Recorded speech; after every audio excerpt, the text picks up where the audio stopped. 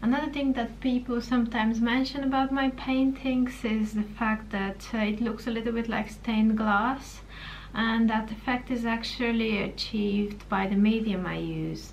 I use something that's called honey watercolors which is um, a different type of watercolor. Uh, the name comes from the fact that uh, actually the pigmentations are mixed with honey and that preserves their brightness and the vibrant uh, colors that come out of it.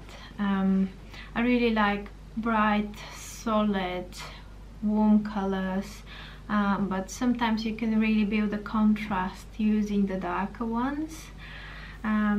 I like a lot of like mythological stories and I get inspiration by urban myths and legends. And for instance one of my paintings over there the one with the lady and the dragon is based on an actually urban legend about dragons stealing beautiful girls from villages and then marrying them